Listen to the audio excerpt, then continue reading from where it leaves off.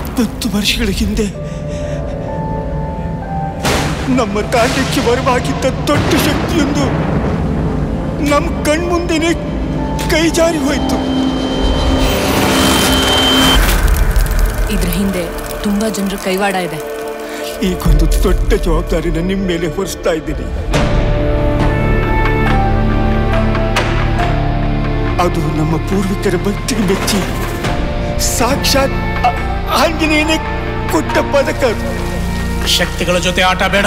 ಆ ಕಾಡು ಜನಾಂಗದವ್ರ ಬಗ್ಗೆ ತುಂಬಾ ಕೇಳಿದ್ದೀನಿ. ಈ ಭೂಮಿ ಮೇಲೆ ಆ ದೇವ್ರ ಕಾಲಿಡ್ತಾರೆ ಅಂತಂದ್ರೆ ಆ ಮಹಾನುಭಾವರಿಗಾಗಿ ಮಾತ್ರ. ಶಿವಪುರ ಪ್ರಾಜೆಕ್ಟ್ ಎಲ್ಲ ಮುಗಿತಾ ಬಂತು. ಈಗೊಂದು ನಾಕೆಟ್ ಸಿಕ್ಕಿದೆ. ಏನು? ಶಿವಪುರನ?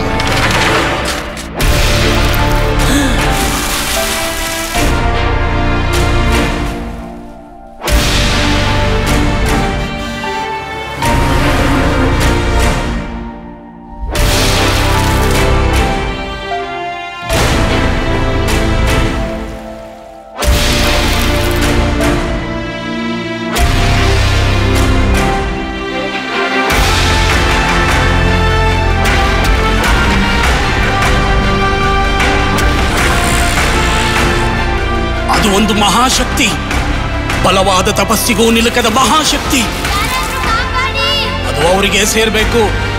ಅದು ಅವರಿಗೆ ಸೇರ್ಬೇಕು.